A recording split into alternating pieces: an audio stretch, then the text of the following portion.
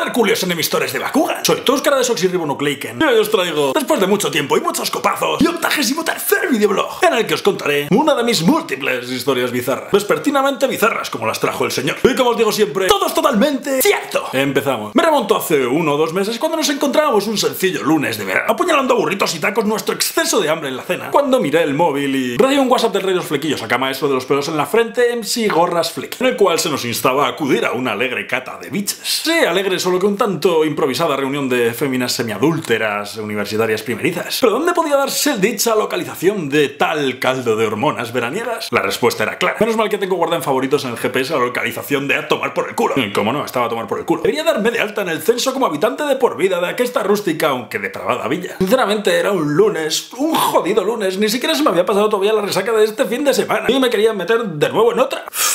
¡Qué pereza! Pudiendo irme a casa tranquilamente a destrozar a polvos a mi preciosa novia. Pero se activó el bizarrómetro. Lo único que hay que hacer. El secreto para que te pasen tantas cosas bizarras es decir que sí a todo. A ver, con un poco de excepción. Si te dicen de meterte una barra de metal ardiendo por el ojete, no digas que sí.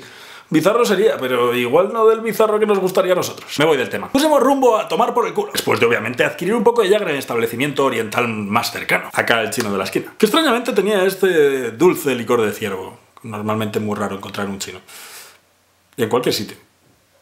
Pero está bueno. 45 minutos más tarde, llegamos a lo que se hacía llamar fiesta en la casa de una amiga pijilla de postureo de Flecky. Allí nos encontramos un panorama de lo más peculiar. Era un piso con apariencia de ser de una familia adinerada. Seguro que eran parder. Y además de los de Minecraft, de los que Sí, sí. Había tres chicas y dos chicos, además de nosotros. Las chicas parecían sacadas de un puto foro de postureo. Eran las típicas chicas con 18 años recién cumplidos, que por estar en primero de carrera se creían las putas reinas del universo, y creerse super maduras por hacer pellas en clase e irse a la cafetería de la universidad, para jugar al póker y beberse media cerveza y acabar más contento que un pederasta en una primera comunión de una familia nudista. Igual estoy siendo un poco duro, pero es lo que tiene la verdad que a veces duele. Los chicos eran de la misma quinta, pero se les veía con un poco más de cabeza, a mi parecer, y no digo que fueran cabezones en plan Minecraft o algo de eso. No tuve ocasión de compartir muchas palabras con ellos, eso es verdad, pero las que compartí al menos aparecían en el diccionario. Bien, la dueña de la casa no sé si es que había bebido ya o es que era un poco rara. Con esto me refiero a que se puso a montar una mountain bike en Bragas en mitad de su salón con un hámster llamado Zurraspas. Lo peor es que al rato nos sacó un pantalón corto que además estaba muy guapo, hay que decirlo. Eso sí, a saber por qué lo hizo. El cual todavía llevaba puestas las etiquetas. Nos dijo, los tengo desde hace un año, pero están sin estrenar porque me parecen un poco de guarra. Y lo dijo la niña borracha en Bragas con un hámster llamado Zurraspas. Manda huevos. A todo esto, había una chica que le llamaba la atención a Flecky y estaba un poco detrás de ella en esta fiesta. Lo que me llamó a mí la atención fue que en el momento en el que Flecky salió de la habitación, esta chica se puso a liarse con la otra chica que aún no habíamos nombrado. Resulta que esta chica era su novia. Flecky estaba intentando ligar inútilmente con una lesbiana cuya novia estaba en la misma puta Pero sinceramente nos hizo tantísima gracia que dejamos a Flecky vivir esa libre aventura de intentar ligarse a la lesbiana. Nos reímos demasiado. Después de esto, había una chica que había venido con nosotros, que era amiga mía, que para mí que le había subido también un poco. Porque no hacía más que insistirme en que era anilladora. Y cuando quisiera me hacía un piercing gratis donde yo eligiera. Lo peor es que cada dos por tres me decía, no sé, hacértelo en el pene sería raro, ¿no? Bueno, no tiene por qué, somos amigos, no pasa nada, ¿no? Yo te lo hago gratis, pero si no te resulta incómodo, ¿eh? No te resulta incómodo en el pene, ¿no?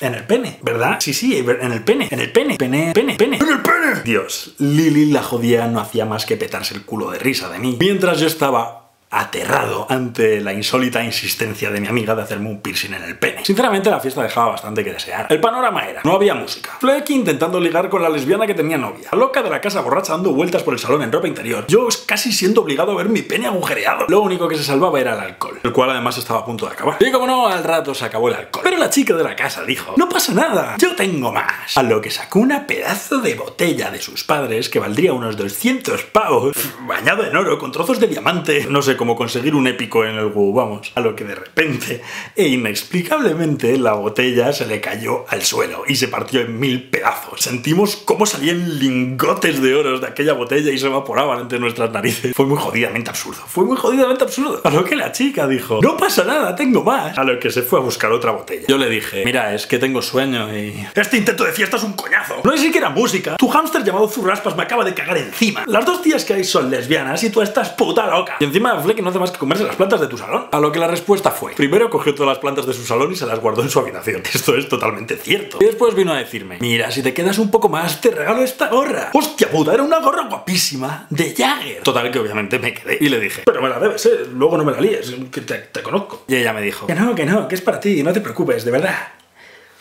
Total, pasaron las horas y las horas y con más tueste y sin alcohol. La peña se puso a hacer macarrones. A lo que de repente, la tía de la fiesta dijo, ¡Oh! ¿Sabéis que se tiraron de pedos vaginales? Y se puso en medio del salón y le empezó a decir a todo el mundo que se callara para poder oírla mejor. Se puso de cuclillas y empezó a tirarse pedos con su vagina. Así como lo oís. Cuando pasó esto, mi bizarrómetro explotó. Explotó, no podía dar crédito a lo que estaba pasando delante de mis ojos. Así que mi respuesta, mi respuesta fue... Creo, chicos, que esta es la señal de que nos tenemos que ir. A lo que ella... A lo que ella respondió. Espera, que también sé hacer canciones sabes hacer canciones. Y comenzó a interpretar una dulce balada de viento de Mozart en vagina menor. Una delicia. Nos quedamos anonadados ante la gran habilidad de esta chica.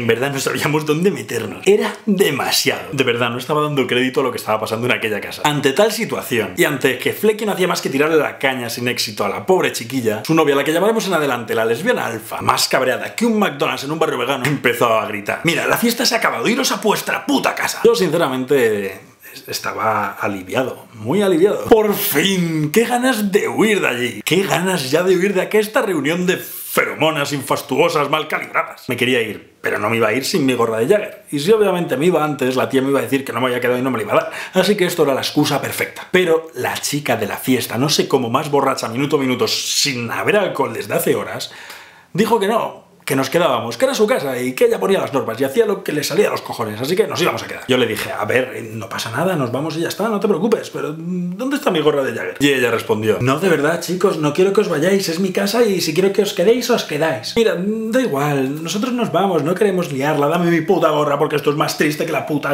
versión extendida de la película de Super Mario Bros. Total, ¿qué es lo que pasó al final? Nos fuimos de allí, yo sin mi gorra, más cabreado, de verdad estaba con un cabreo Ay, eso sí, nada más subir al coche para irnos a nuestra puta casa, pusimos a todo volumen la canción de Aleluya, Aleluya. Y nos fuimos a nuestra casa sabiendo que no puedes fiarte de una puta fiesta que sale improvisada un lunes por la noche. Así que sí, esta fue la historia de la fastuosa fiesta vagino concierto de un lunes por la noche. Y no, Seguro que muchos lo preguntáis, no me acabé haciendo el piercing en el pene. Así que este ha sido mi octagésimo tercer videoblog. Si os ha gustado, darle like, favorito, suscribiros si no estáis y venga, hasta luego.